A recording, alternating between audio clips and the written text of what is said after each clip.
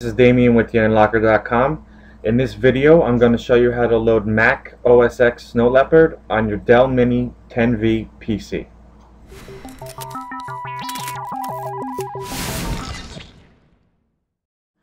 Alright, so there's a few things uh, I need to mention before you begin. Um, one, like any device, hacking or modifying or anything like that, there's going to be some sort of risk. Um, this is not, not going to be any different. Um, the, the risk is very minimum, but it's there's still a chance. Um, also, if you don't have a Dell Mini 10V, it has to be the 10V model. Um, this guide may work on another PC or laptop or even desktop. Um, you might just have to try it or, or just Google it for your specific model. Um, but, but if you have a, net, a netbook with the N270 Intel Atom processor and similar specs to the Mini 10V, you should be fine. Um, also, when you install the Snow Leopard software on the Mini, it's going to erase the entire hard drive. If there's anything on it that you need or you need to be um, transferred to another hard drive or to save it or anything like that, you need to do that first. And also, if you don't like the Mac OS X or if it doesn't work and you've already deleted everything off your hard drive, the only way to restore Windows or Linux is with the install CD. Okay, so after weighing all the risks and having the appropriate backups, if you want to proceed, there's a couple things that you're going to need. Um, one is going to be a USB portable mouse and later on in the video I'll show you exactly why you need that. Um, you're going to need a PC, a separate PC with a DVD drive. It could be a laptop or a desktop, doesn't matter. Even another Mac. Um, you're going to need a 16 gig USB uh, flash drive. Um, an 8 gig may work, but I haven't had any luck with it. The 16 was the only thing that worked for me. You're also going to need an additional 1 gig USB flash drive to load the boot image onto it. And the most important thing is you're going to need a retail copy of Snow Leopard 10.6.3. Um, you can get that at apple.com for $29.99. It's about a five day wait period for it to be shipped. Um, eBay has them. They're a little bit more than $30 though. That's where I got mine from. Um, a, a burned, pirated copy is, first of all, it's illegal. Second of all, to be honest, I've tried it. It doesn't work. For whatever reason, I've tried at least 30 burned copies. They just don't work for some reason. So it has to be retail. And it can't be a DVD that came with a, a MacBook or you know a Mac des desktop or whatever. It has to be a retail copy. And like I said, you can get them at apple.com. Okay, so after you have all the appropriate hard drives, um, the mouse and the, the DVD, and the PC with the DVD drive, um, there's a couple programs and a file we need to download. Uh, the first one is going to be the bootable um, netbook installer, and that's going to be able to boot the Mac operating system onto your Dell Mini. So we're just click on this link to download that.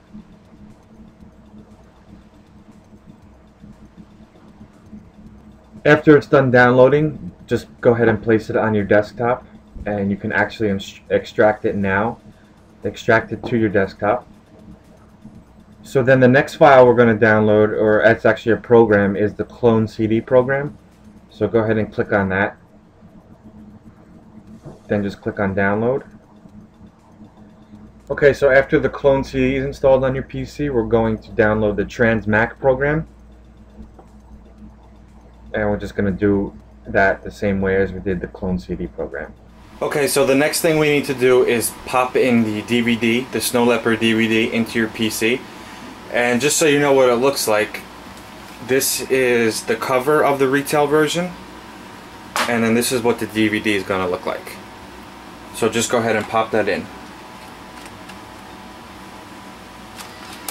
Okay, once you have the DVD in, um, we need to actually write the image.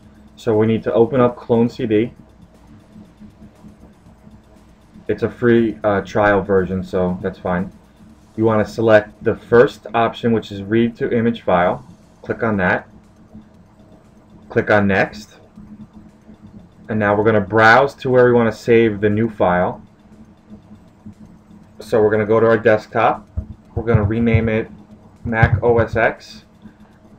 And then in the save as type section, we're going to save it as an image file. Click on save, then click, um, click on OK. And now it's going to go ahead and burn it, um, not actually burn it, it's going to make a copy of the DVD in an image format onto your desktop. This is probably going to take about 30 to 45 minutes depending on how fast your PC is. So just sit, sit tight. Alright, so now, now that you've written the new image, we need to plug in the 16 gig USB flash drive.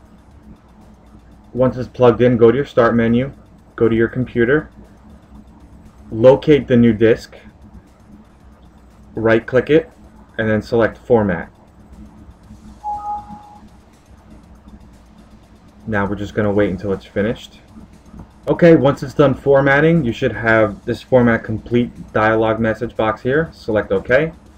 Then you can close out of that. And now we need to write the new image onto the freshly formatted USB drive. So now you want to open up Transmac. It's going to be a trial version unless you purchase the key, so you could just hit run your USB drive should now be listed in the left hand panels. Right click it, go to format disk, and then go to format with disk image. Locate the Mac OS X image that you created earlier. Select it, then select open, and select OK. Now this process should take, um, again, anywhere from 30 to 45 minutes. Okay, so once we write the image to the USB drive, now we need to write the boot image to the 1 gigabyte USB drive. So plug that in, then go to your start menu, back to your computer, right click the drive so, and select format. Okay, that was quick, so select OK, then close, and you can close out of this. Now we need to go back into Transmac,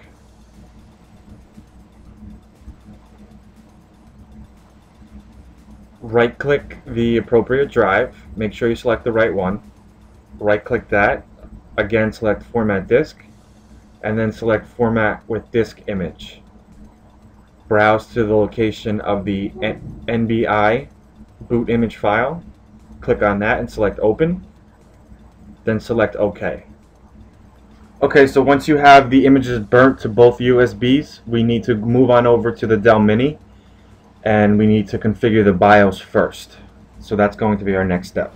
Okay, so the next thing we need to do is boot up the Dell Mini and configure the BIOS. So once you power it on, we need to hit F2 at the first screen.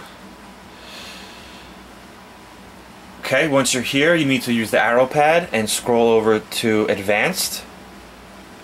Using the down arrow, go to Bluetooth, make sure it's enabled. If it's not, you can hit F6.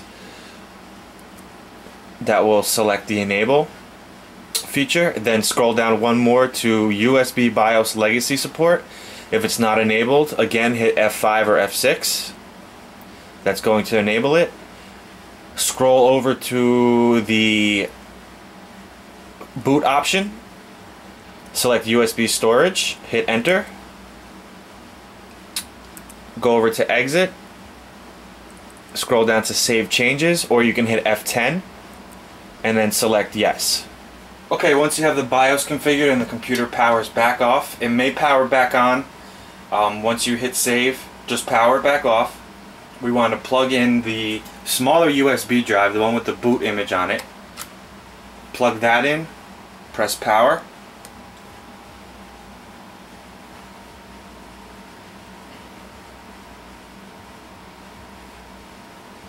Now as you can see in the upper left hand corner it's reading the USB drive.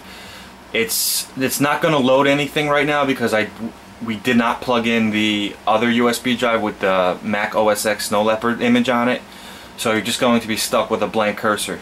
So now what you have to do is power it back off. Okay, once it's powered off, we want to plug in the USB drive with the Mac image on, on it plug that in and then hit power again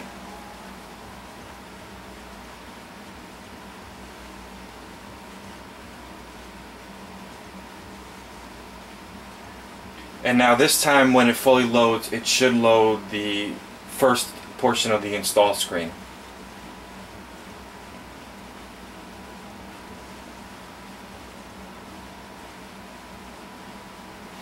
Okay, there we go. Okay, now that we have the first portion of the install screen, it's asking which hard drive we want to go to. So we want to select the USB drive with the Mac install on it, so hit the left arrow, or it might be the right arrow, right arrow on your computer. Hit enter. And now it's going to begin to load the primary files for the install.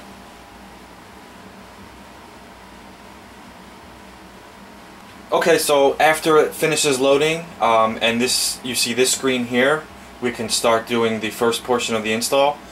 And to get to this screen, it's probably going to take anywhere from 5 to 15 minutes depending. Um, don't panic. As long as you see a spinning wheel on the bottom of the Apple screen, the previous screen, you're fine. So now we need to plug in our USB mouse. So go ahead and do that. Make sure English is checked on the top. Hit next. And now it's going to prepare the system for the installation. Okay, so on the next screen, click Continue.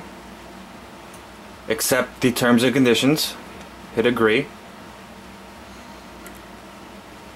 Now, before we go any further, once the hard drives loads up here, we need to go into disk utility and format the hard drive.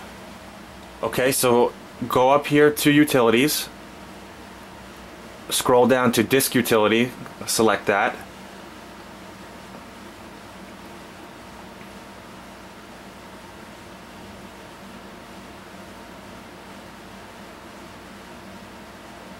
Okay, now we need to go select the Dell Minis hard drive. We need to select erase. Scroll to the Mac OS Extended Journaled option and then click on erase and to confirm hit select erase again. Okay, so after it erases the hard drive, we need to go and select partition go to volume scheme, select one partition, go down to options, make sure GUID partition table is selected, select OK, then select apply, then select partition to confirm. Okay, after the partition completes, we need to get out of disk utility. So click on disk utility and then quit disk utility. Now you can see the hard drive is free and available. Select that. Then click install.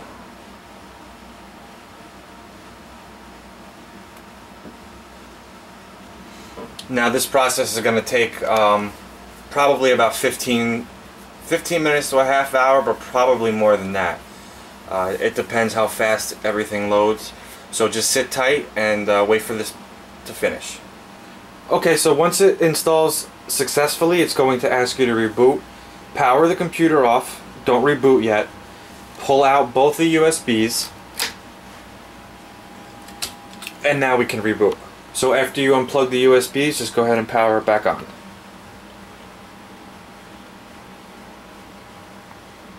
Okay, so once you get to this screen with the circle at the bottom of the apple, it's probably going to sit here for about 10 to 15 minutes you can just leave it and this is going to be the longest portion of the reboot.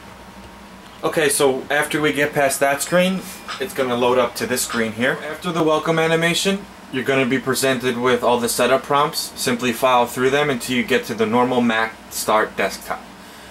Now, after the desktop starts, you're going to probably have a prompt for a software update. Do not update. This will break your computer. I'm going to do another video to show you how to update to the latest software. Hope you enjoy this video.